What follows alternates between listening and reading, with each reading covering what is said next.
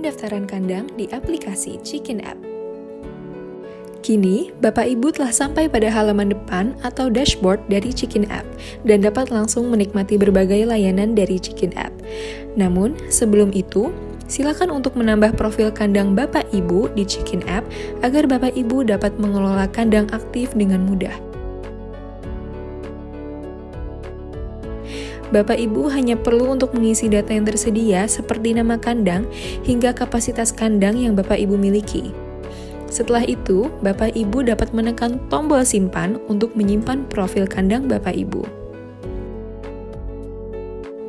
Profil kandang yang telah tersimpan namun belum memiliki periode aktif dapat Bapak Ibu aktifkan dengan mengisi produksi DOC hingga pihak kemitraan yang menjalin kerjasama dengan Bapak Ibu. Kemudian, tekan tombol mulai produksi untuk menyimpan informasi.